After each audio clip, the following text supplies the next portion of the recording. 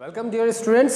So in this video lecture we are going to start our unit 13. This is our actually our last chapter in organic functional group and in this unit we will learn about organic compounds containing nitrogen that means amine then a diazonium group okay. So unit 13 nitrogen containing compounds. First of all we will see about amines. Amines has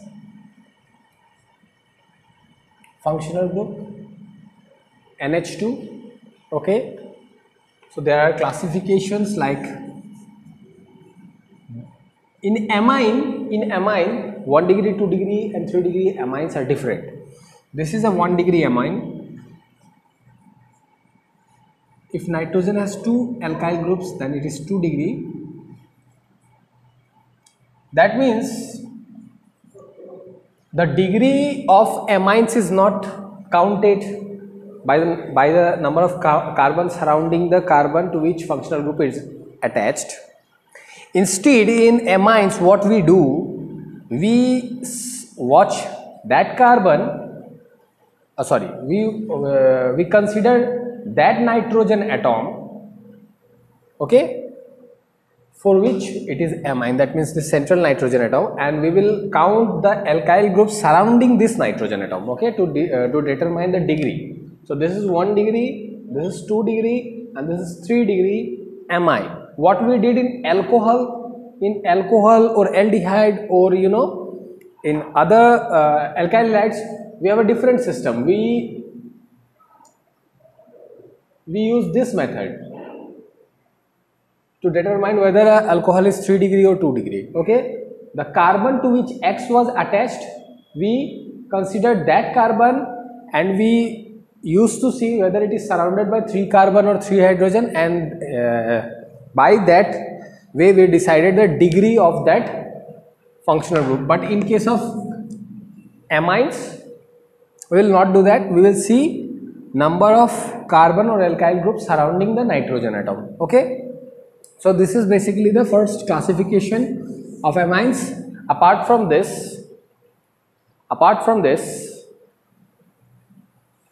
other like allyl benzyl vinyl these amines can exist okay? So you know those type of carbon atoms so it's not that difficult.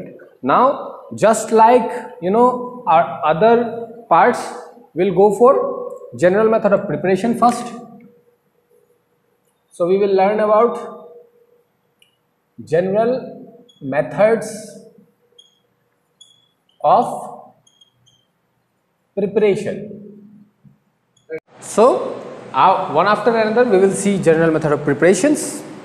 So in this video lecture I will discuss only the general method of preparation part and then in the coming videos we will discuss physical and chemical parts okay just like we did for other chapters. So first we will prepare amines from nitro compounds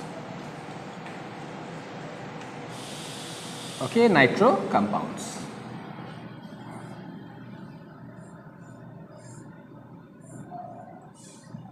So just the reduction or catalytic reduction, catalytic reduction of nitro compounds. This is NO2. So we can take hydrogen in presence of palladium.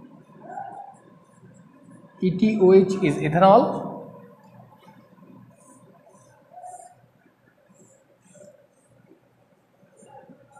So ethanol will, so this will do what?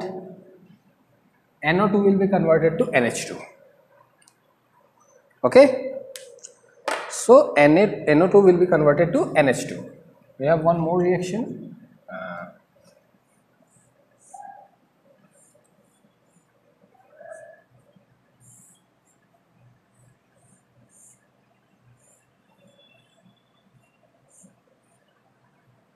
There is one another way to do this reduction we can start with nitrobenzene and we can take SN plus HCl or we can take, we can take Fe plus HCl and we will get NH2. Now in this reaction Fe plus HCl is preferred as it will produce FeCl2 which on hydrolysis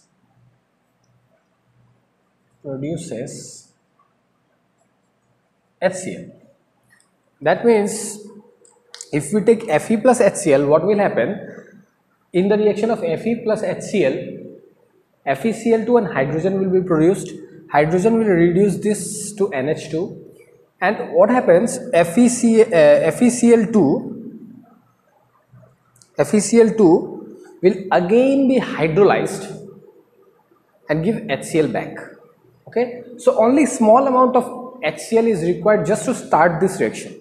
After that we don't need uh, you know large volume of HCl to do this reaction. So uh, you know uh, we need very less reagent if we use FeHCl so it's preferred okay? Now, the next reaction is ammonolysis.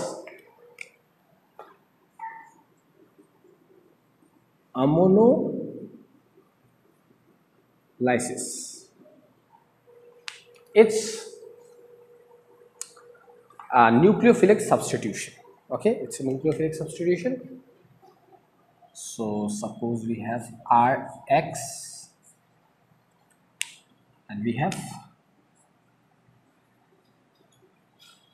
NH3 ammonia so nucleophile will attack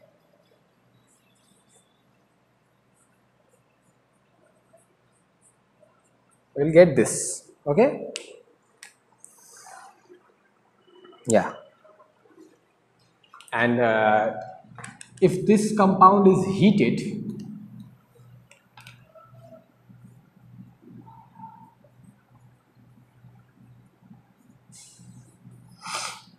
we get actually amine okay? So what we have done we have you know uh, used ammonia with rx okay now suppose if we don't take rx and if we use rnh2 if we start from here and rx then same again reaction will happen just the only difference will be this time in the first reaction, the amine was the nucleophile. In this reaction, this alkylamine will be the nucleophile. So, what we will get? We will get this as final product.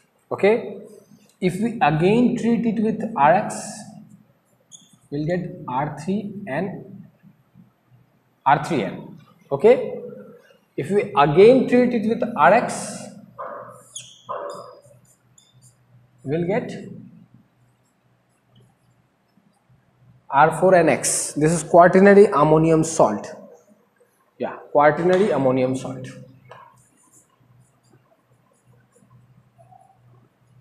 Quaternary ammonium salt.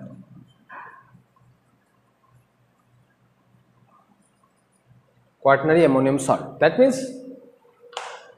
this is 1 degree, this is 2 degree, this is 3 degree, and quaternary ammonium salt. That means what ammonolysis tells us, ammonolysis tells us that if we start with ammonia and alkyl halide, it's a chain reaction. It will first produce a 1 degree amine, then a 2 degree amine, 3 degree amine and a quaternary salt. That means it will, it will give us a mixture of you know different kind of amines. That's why this uh, reaction is not preferred because it gives you you know a combination of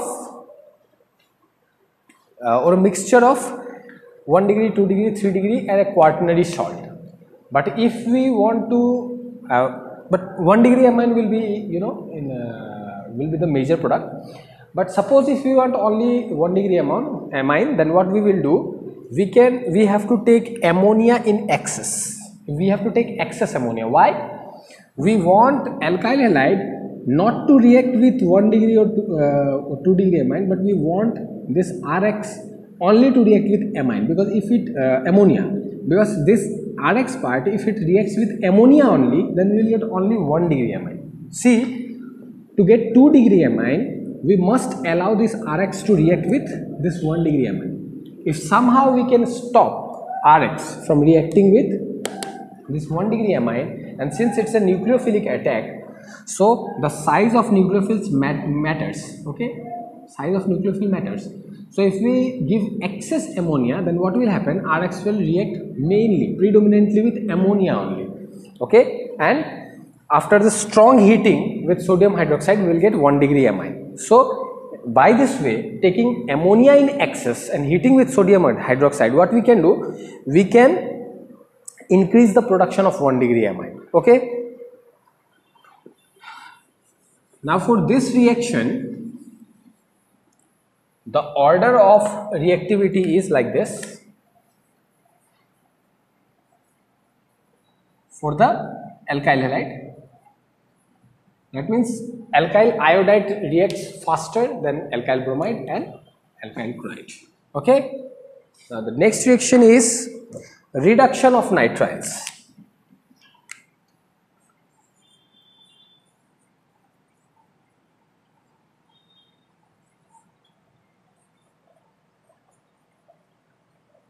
What is nitriles? That means cyanide. So RCN, we can do catalytic reduction also. That means hydrogen, palladium and ethanol. Hydrogen nickel can also be used. Hydrogen nickel, this is catalytic reduction. Or we can do what? We can take sodium amalgam in ethanol and it will do what it will convert this CN let me let me change the color just so that you can get it clearly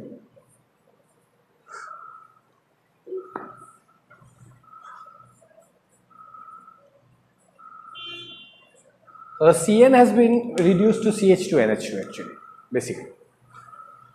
Okay so this is the reaction. This is how you can convert nitrile to amine. Simple reduction next reaction is amides.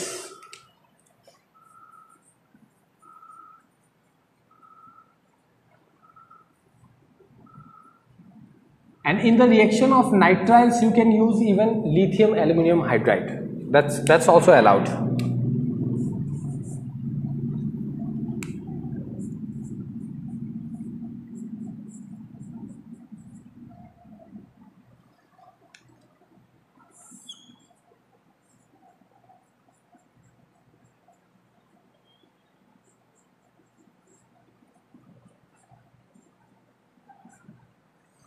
So what will happen?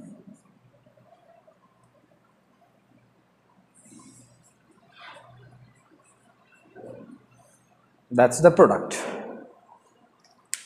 So in the similar fashion, in a similar fashion, just like nitriles, amides are also reduced to amines. Okay. Next, we have a named reaction it's called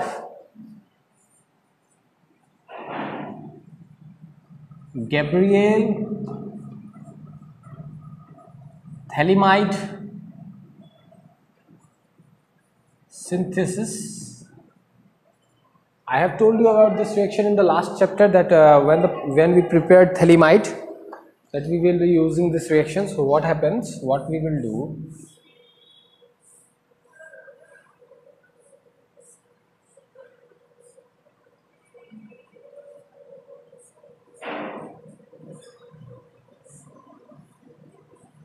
So this is our phthalimide. It will react with KOH.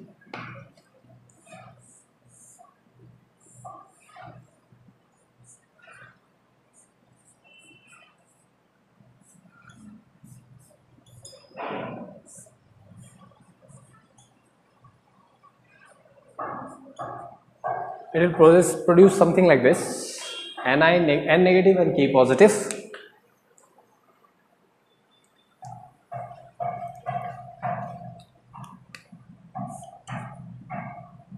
We will treat it with Rx. See Rx, we will let it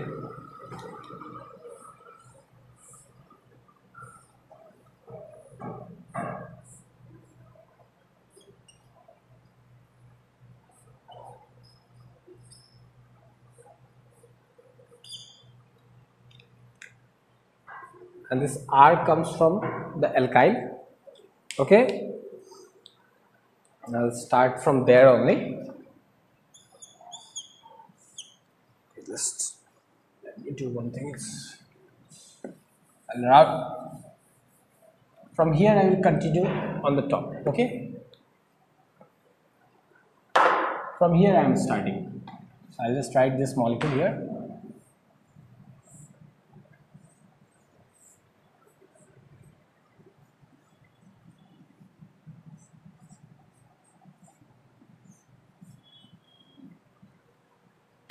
So I have this. Till this we have got. Now we'll do NaOH aqueous. We'll treat it with sodium hydroxide aqueous and it will give us sorry remove it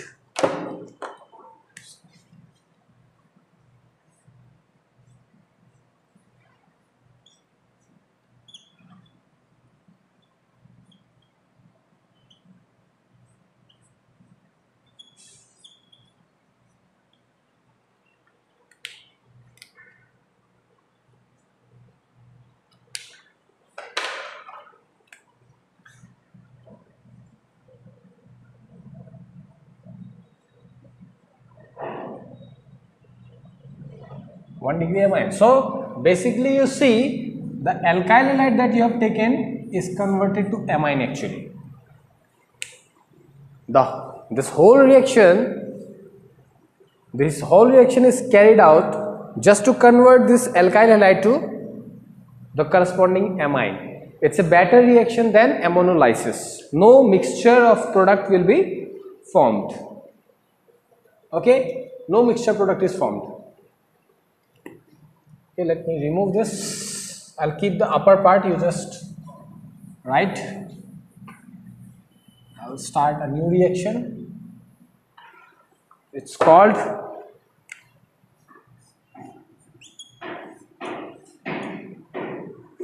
Hofmann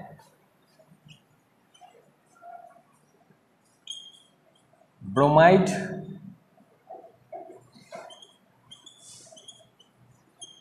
degradation.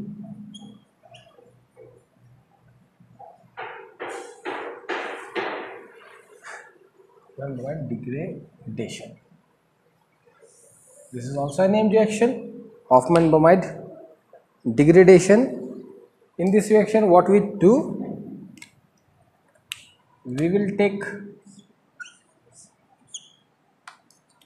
we will take one amide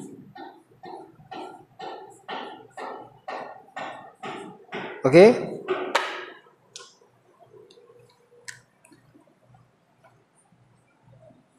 We will take a bromine.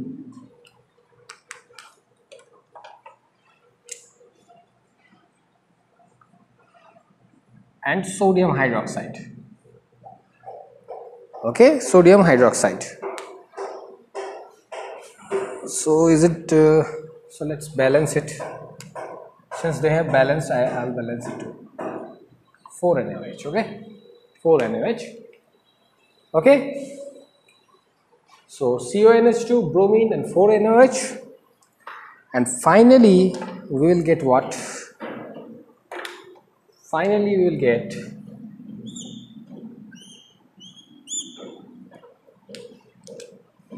R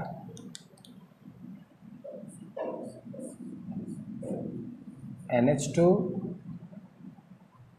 RNH2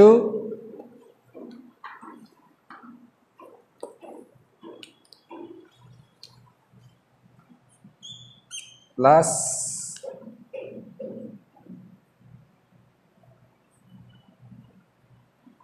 not use this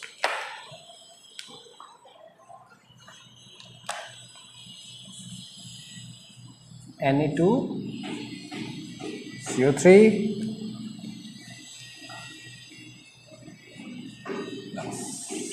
Na Br plus? Water.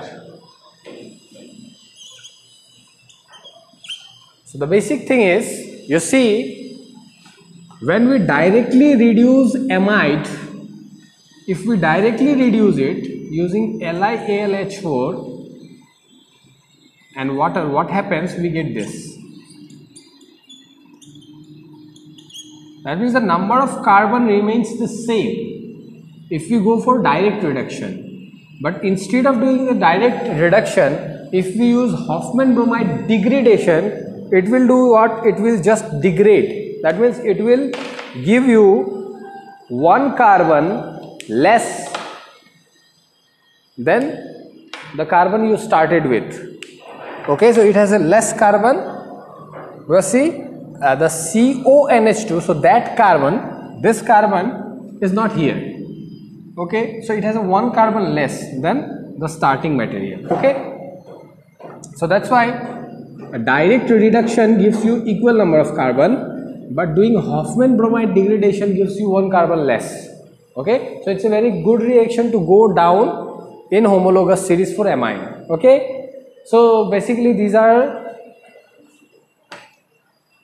this is all that we have from general method of preparation in amine. In the next next coming videos, we will study about the chemical behaviors in chemical behaviors we will see that amines are basic in nature okay so we will discuss about the basicity of amines. Then we will uh, study about the chemical behavior chemical reactions. And once the chemical behavior chemical uh, preparation uh, chemical reaction reactivity of amines is done we'll go for diazo groups. We will study about diazo groups. Okay what diazo groups are and how they are prepared what are their chemical behaviors. We'll see those things. Okay so for now this is all for this video uh, all in this video lecture in general method of preparation for amines so practice all these reactions. Okay? Thank you